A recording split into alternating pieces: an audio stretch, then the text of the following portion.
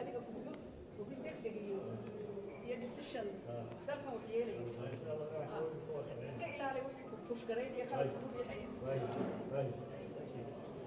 raxiim alxamdu lilaahi rabbi alcaalamiin madaxweynaha jamhuuriyadda somalilan mudane axmed maxamed maxamuud siilaanyo waxaa maanta soo booqday eh, guddoomiyaha xisbiga macaaridka ee waddani murashaxa madaxjegada madaxweynenimo oo si rasmiya maanta iskaga casilay xilkii uu muddada dheer u soo hayay qarankan ee ahaa guddoomiyaha golaha wakiilada isagay shir guddoonkuba si rasmi ayay maanta u iclaamiyeen inay iska casileen xilkaa wixii broses ah ama howlehe kale baarlamaanka u taalana iyagaa gudan doona.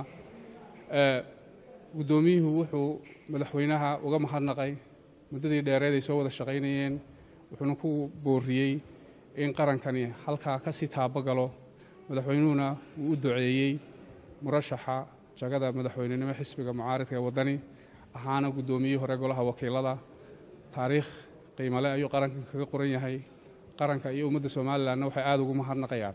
Wixii uu qarankan u soo qabtay madaxweynuhuna duco ayuu u duceeyey guddoomiyaha golaha wakiilada iyo murashaxiinta kale kaleba wuxuuna ku booriyey in danta guuda qaranku ay mar walba mudnaanta koowaad yeelato. Iminkana waxaan ku soo dhoweynayaa murashaxa jagada madaxweynaha guddoomiyaha xisbiga afhayeenka madaxtooyadu waa mahadsan yahay sidaa uu sheegay afhayeenku maanta oo ah bishu laba waxaan baneeyey jagadii guddoomiyenimada golaha wakiilada jamhuuriyadda somalilan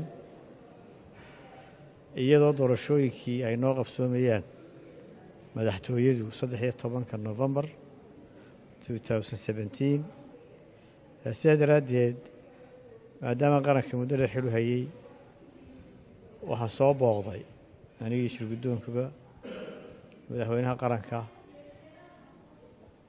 oo aan ku wargelinaynay inaan baneeyey hawshaas iyo dardaaran wixii uuna sii farayaba madaxweynuhuna kulankaasi si wanaagsan buu noogu dhammaaday. Waan isla fahamnay sidaanu awalba u wada shaqayn jirnay howlaha qaranka in looga wada shaqeeyo iyadoo mudnaanta la siinayo iyo in doorashadu insha allahu wakhtigeedii ay noogu qabsoonto. Aada iyo aad baan idinku mahadnaqayaa. Asalaamu calaykum raxmatullahi barakaatu